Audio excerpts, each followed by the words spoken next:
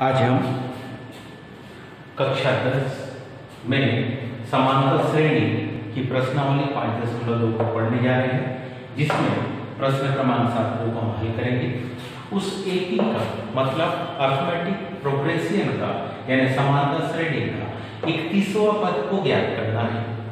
उस समांतर श्रेणी का इकतीसवा पद को ज्ञात करना है, जिसका ग्यारहवा पद अड़तीस दिया है। और सोलहवा पद तिहत्तर है।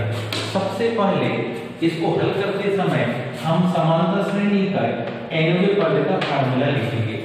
समांतर श्रेणी का एनवा पद तो समांतर श्रेणी का एनवा पद हमारे पास होता है।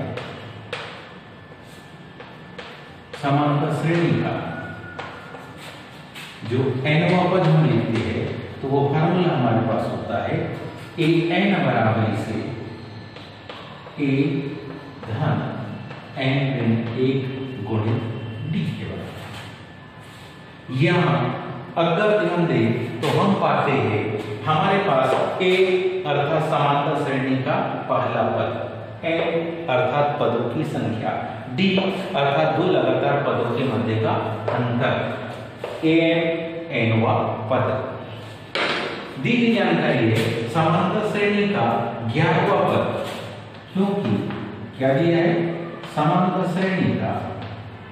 समांतर श्रेणी का ग्यारहवा पद, यानी कि ए इलेवन का मान दिया है। कितना? अड़तीस। कहने का मतलब है, यहाँ एन का भी मान दे दिया इन मानों को जब हम समीकरण में रखेंगे तो ये समीकरण होगा ए एन यानी ग्यारहवा पद है अड़तीस। ए का मान पता नहीं है। एन यानी ग्यारह। ऋण एक ग्यारह में से एक को घटाएँगे, दस बचेगा। हमारे पास अड़तीस बराबर से ए धन, दस डी ये जो पद है, इसको हम दाएँ बाएँ पक्षांतर कर ले। पूरे पदों को दाएँ बाएँ यदि पक्षांतर करते हैं तो समीकरण के किसी भी मान में कोई परिवर्तन नहीं आता और इसको हम समीकरण नंबर एक कहते पुनः, दूसरी शर्त देखें तो दूसरी शर्त में लिखा है, समांतर श्रेणी का सोलवा पद। दूसरी, उसी श्रेणी में पहली श्रेणी में समांतर श्रेणी का ग्यारहवा पद अड़तीस था और उसी श्रेणी में समांतर श्रेणी का सोलवा पद, यानी ए सिक्सटीन वाला पद तिहत्तर है। कहने का मतलब यहाँ इनका मान सोलह हो ए एन तिहत्तर के बराबर। ए यानी पहला पद एन यानी सोलवा पद एन का मान सोलह एक गुणित डी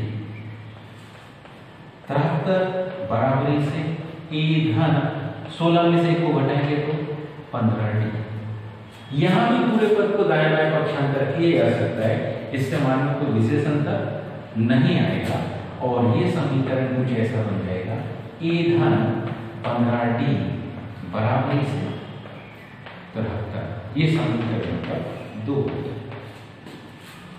सावधानी से समझने का प्रयास करो, जहाँ पर ए और डी आए, यदि वहाँ पर एक्स और वाई आते तो ये ही समीकरण कुछ इस प्रकार से थे।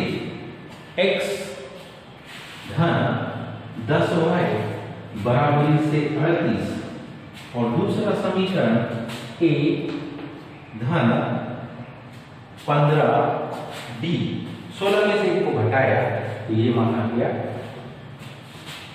तो ए की जगह पर एक्स और डी की जगह पर यदि y रखते तो ये इस प्रकार से दो चरों के समीकरण का परिवर्तित रूप है। अंतर सिर्फ़ इतना है कि यहाँ पर ए और डी है और पिछले इकाई में हमने एक्स और वाई पढ़े। थे जैसे मान करते बिल्कुल ठीक वैसे ही हम यहाँ भी हल करेंगे। हम क्या करते हैं? समीकरण दो में से समीकरण एक को घटा देंगे। सबसे पहले हम यहाँ समीकरण दो में से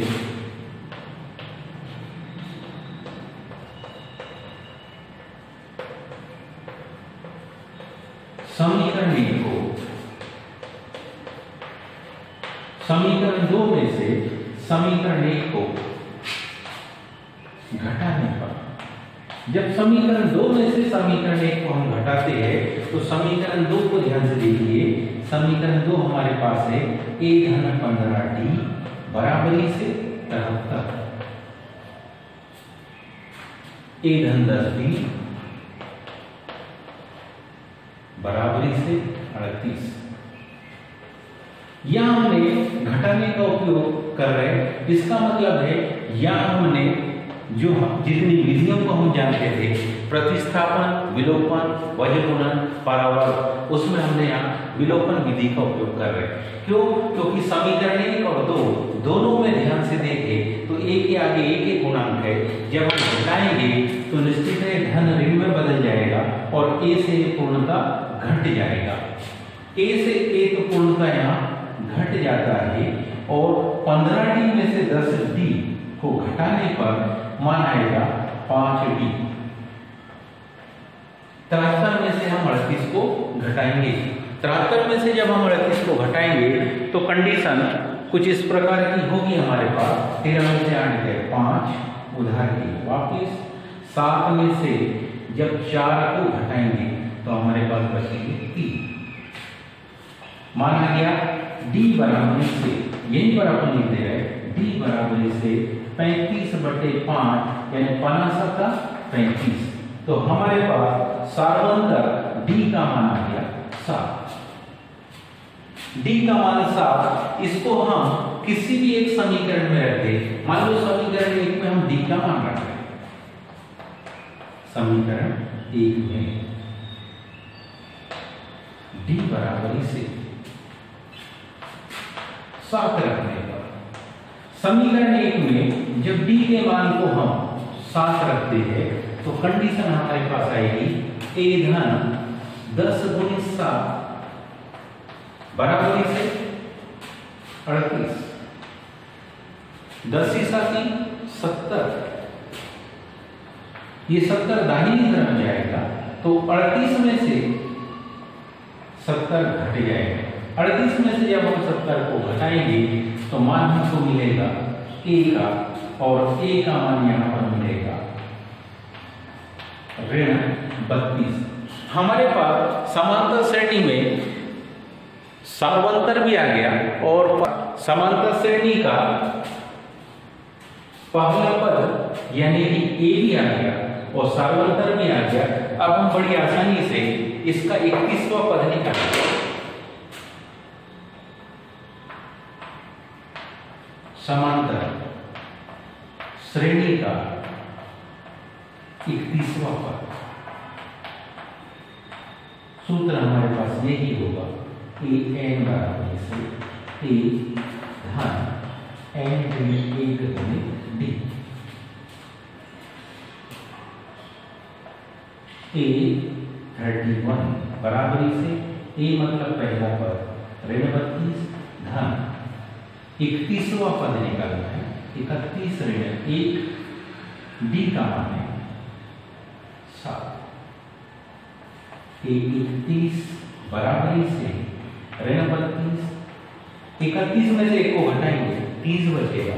तीस में सात का गुना करेंगे, दो सौ दस बचेगा। अब यदि हम 210 में से 32 को घटाए तो एक सौ अठहत्तर बचता है तो इस तरीके से इस समांतर श्रेणी का जो इकतीसवा पद है ए थर्टी वन वाला पद, वो हमको मिलता है एक सौ अठहत्तर। हमारे पास समांतर श्रेणी के दो पद दिए थे, एक ग्यारहवा पद दिया था अड़तीस, एक सोलहवा पद दिया था तिहत्तर हमने इस फार्मूले में उन मानों को रखकर दो समीकरण बनाए ये दोनों समीकरण पिछली इकाई दो चरों के युगपत समीकरण की भांति बनते हैं। उसको हम, हमने यहाँ पर विलोपन विधि का उपयोग किया। आप चाहे तो प्रतिस्थापन या वज्र गुणन विधि का उपयोग करते हुए भी मान निकलते तो ए और डी के मान इतने ही निकलते। ए यानी पहला पद डी यानी सर्वांतर, जब ये दोनों ज्ञात हो जाए तो समांतर श्रेणी का इकतीसवा पद निकालने में कोई विशेष समस्या नहीं है। उम्मीद है आज का ये प्रश्न आपको समझ में आएगा, होगा। धन्यवाद। शेष आगे हल करेंगे।